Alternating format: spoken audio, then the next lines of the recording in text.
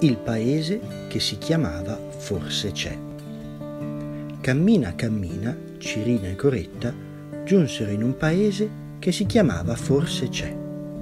Gli abitanti di questo paese non sapevano mai bene dove fossero e che aspetto avessero le loro cose. Per questo avevano chiamato così il loro paese, Forse c'è. Una mamma, per esempio, diceva alla figliola, Forse Maria, guarda se nel forse cassetto della forse credenza ci sono le forse forbici. Quei poveri paesani non erano sicuri delle loro cose perché non vedevano nulla, ma non erano ciechi vedevano perché tenevano gli occhi chiusi. Non avevano mai imparato o non avevano mai nemmeno provato ad aprirli. E ora come facciamo? disse Cirino.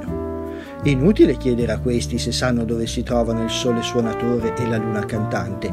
Ci diranno forse qui, forse lì. Ma a parte questo, poverini, disse Coretta, che era di cuore tenero, fanno davvero una gran fatica vivendo così. Cosa possiamo fare per aiutarli? Provarono e riprovarono a dire loro aprite gli occhi, ma niente. Chi diceva che non aveva occhi, chi diceva che li aveva, ma erano chiusi e non si potevano aprire. Chi diceva che sì, si potevano aprire, ma era meglio di no. E perché mai Santa Caramella? chiedeva Coretta. Ah, perché lo dice il proverbio. Occhio non vede, cuore non duole. Che proverbio stupido, diceva Coretta, però non sapeva bene che altro rispondere.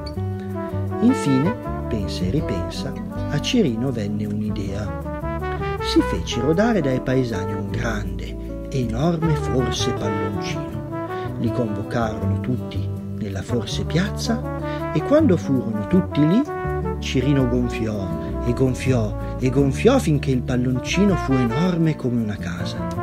E allora Coretta prese un forse spillo e PUM! Gli abitanti, per il terribile spavento, fecero un salto e spalancarono gli occhi tutti insieme.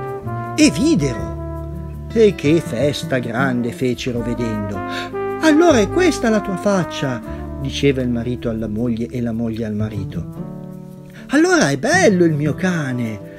Ma allora è bianca la mia casa! Allora il cielo è così! e non finivano di aprire e chiudere con le mani gli occhi e le orecchie, felicissimi di non vedere per un po', ma poi di vedere di nuovo, di non sentire per un po', ma poi di sentire di nuovo, insomma, felici e contenti del mondo, che ormai senza più nessun forse era fiorito tutto intorno a loro, tanto felici e contenti che vollero a tutti i costi che i due fratelli si fermassero con loro per due giorni a festeggiare e indicare intorno tutto il mondo che c'è. Solo il terzo giorno, dopo averli colmati di doni, di cibi, li lasciarono andare via. Felici e contenti anche loro, Cirino e Coretta ringraziarono, salutarono e partirono per continuare il loro viaggio in cerca del sole suonatore e della luna cantante. E sulla strada, camminando a saltelloni, dicevano e cantavano questa tiritera delle cose intorno. Che c'è, che c'è, che c'è? C'è il sole per fortuna, guarda. E notte c'è la luna, guarda. Il vento fischiatore, senti. Il rombo di un motore, senti. Sole e luna, canta e suona, dentro e fuori, mani e cuori, frutti e fiori, fiori e frutti che c'è, che c'è, che c'è?